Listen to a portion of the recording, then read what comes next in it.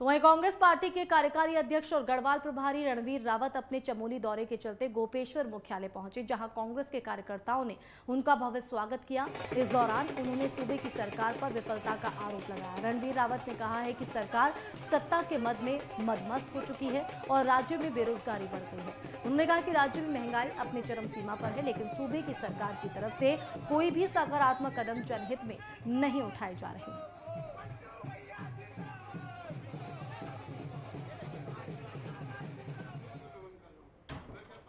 तो महँगाई को लेकर एक बार फिर से पक्ष सरकार पर हमलावर दिखाई दिया। कांग्रेस कार्यकारी अध्यक्ष गोपेश्वर पहुँचे। इसी दौरान कार्यकर्ताओं ने जब उनका भव्य स्वागत किया तो जब मीडिया से मुखातिब होते हुए उन्होंने धामी सरकार पर सवाल खड़े किए और महँगाई को लेकर कहा कि चौथरपा महँगाई की मार आम जन को झेलनी पड़ रही है।